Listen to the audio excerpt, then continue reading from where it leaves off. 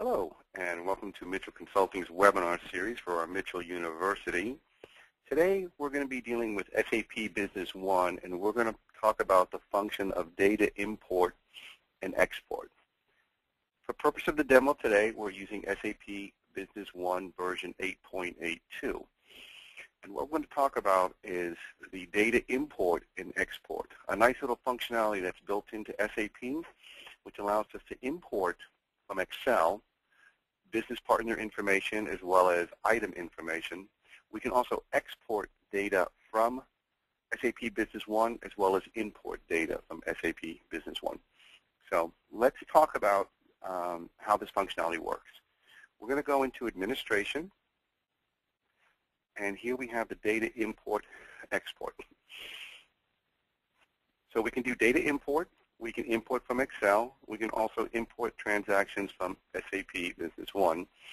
And we can do a data export from SAP Business One. The nice thing about the importing and exporting of the Business One transactions, this is very useful for consolidation. we have clients that we may have two separate companies in SAP, two separate databases, and what they want to do is they want to run con consolidated financials. So what we do in this case, we can create a third database for the consolidation, and then I'll show you how easy it is to just go ahead and extract the information from the two databases and then import it into the third or the consolidated database. So we'll talk about that today also. So let's talk about the import from Excel. For purpose today, I'm going to do a simple um, example. What we do is we have a text file. Let me just uh, show you the text file. So we have a um, customer file, and again, this is just from Excel. This is a simple Excel spreadsheet, and we saved it as a uh, tab delimited file. In this case, we're just going to deal with three columns. We're going to deal with um, a business partner code, the business partner name, and then the business partner type. So here you can see we're going to import a business partner code C1. The name is going to be customer for demo and the type is C for customer. We're going to import a vendor. Code's going to be V1. Name's going to be vendor for demo. And then the code of the vendor type is S. This information is available in our system. We also have another webinar series on how to extract that. I'll show you that a little bit today. But we do have details for the query generations and how to see what the different types of fields are and what is the uh, defaults in those fields. I'm also going to do the example of an item. So here again I have an item. And this I'm just going to, all I'm going to do is I'm going to create an item number and a name. So I'm going to create this information. So we have our files here. So before we begin, let's talk about, again, a brief how to find out what the names are. So if we go to Business Partners and we go to Business Partner Master, we're going to go ahead and we're going to import here. So we're going to do the code, the name, and the type. Have the types here. And again, to find this information, and there's other webinars on, um, on our website to go into more detail, but what we can do very simple is we can go to View, System Information, and then if we kind of hover over the field, you will see below down here the name. So you can see here that we're looking at the card code. You can see the card type and so on. So if we go over these fields, there's a card name and so on. So you can see that this field here is called phone 1 and phone 2. This is helpful when we're actually going to create the template and set up because we'll need to have these fields. And again, you can also do that functionality. Since I have that turned on, system information is on. You can see the same here with the inventory item.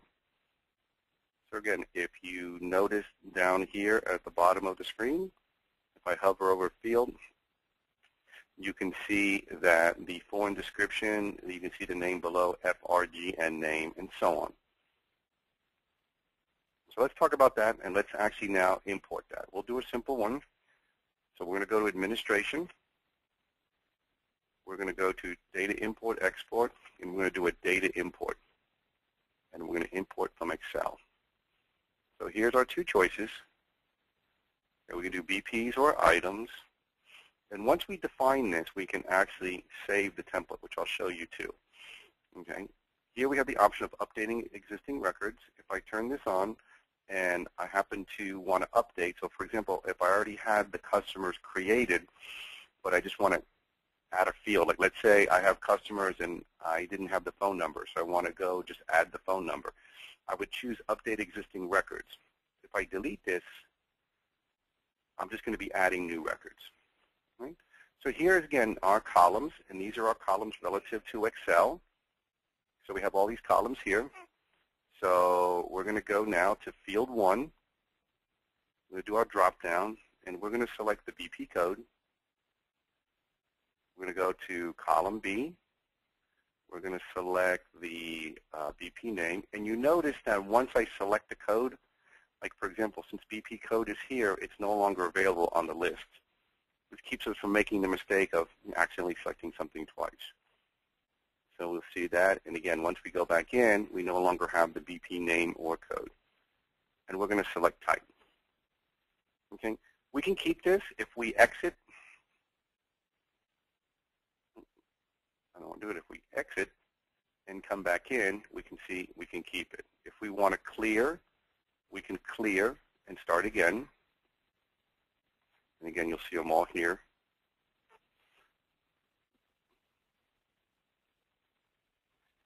and the type. We can also save as. You can see our templates up here. So we can do a save as. And we can call this uh, demo.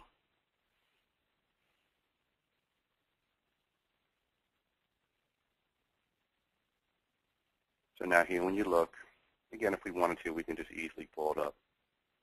So again, that functionality is available if you just want to if you're going to use, a lot of these, so if you want to create a, you know, a complicated template for bringing data in, um, and you're doing this, you know, I don't know, maybe you're bringing items in, you know, you're updating items from a catalog or something, and you're doing it on a weekly or monthly basis, you can just save the templates. So again, very simple. We have this now, so let's import. We're going to click OK. It's going to prompt us for our file. So we put this on the desktop, and we can see the customer import. I'm going to open that. And we can see down here that two records imported successfully. We see it from our green line. So let's go now into our BP. And we should have created, uh, I believe we did C1.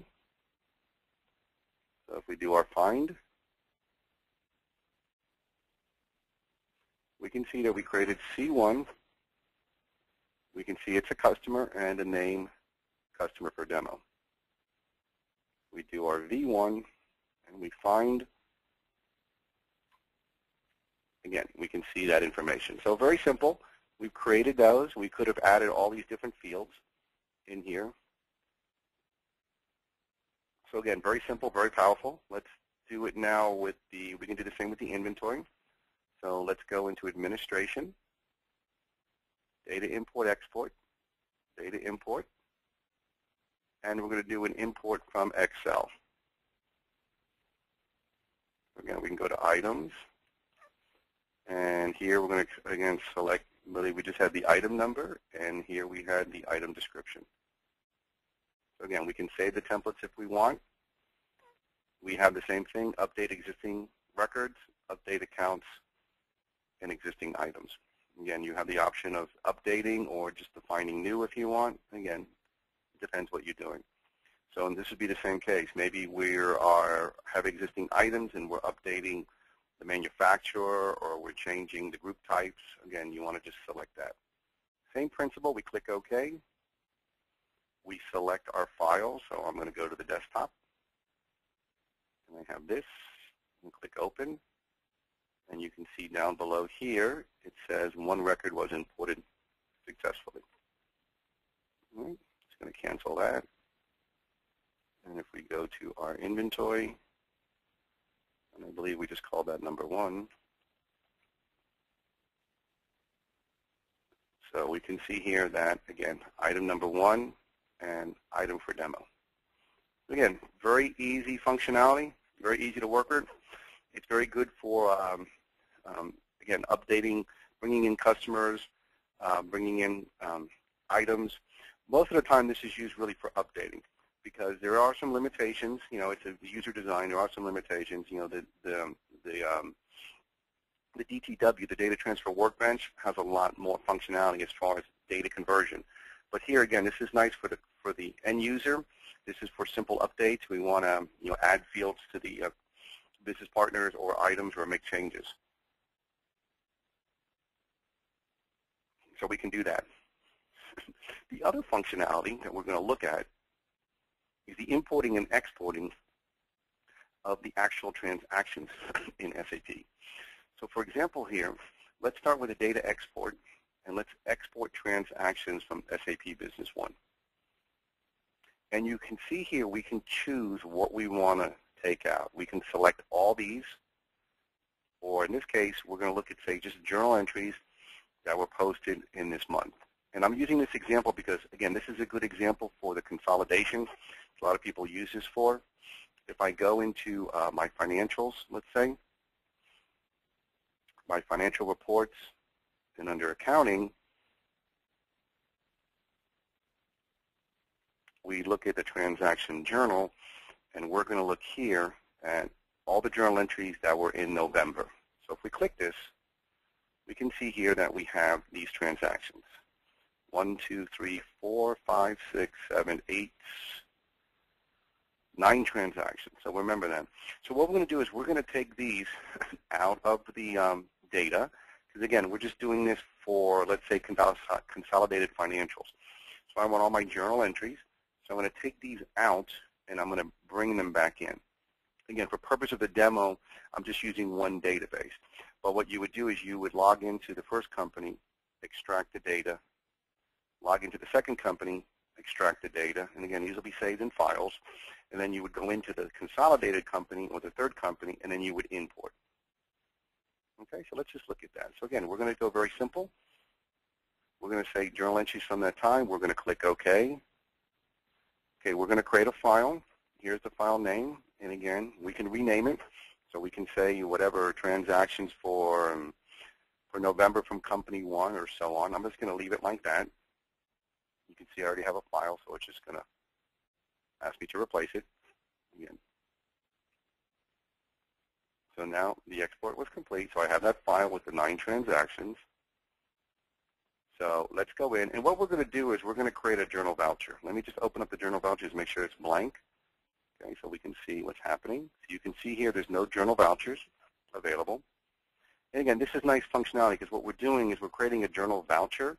And again, we have other webinars on the financial side, but a journal voucher is kind of a temporary journal entry so it allows us to bring this data in and then analyze it, make any changes to it before we actually post it and create the journal entry.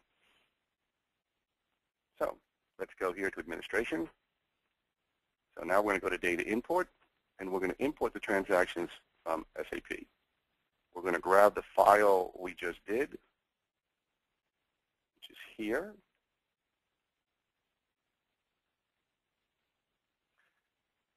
And you can see here that import transactions from SAP, journal voucher number 7 was created, and there's the nine transactions in journal voucher 7. Again, we saw those nine transactions that went in there. So if we go in and we open up the journal voucher, you can see here that journal voucher 7 was created, and you can see the nine transactions let's open it up and take a look. So let's go now to our report.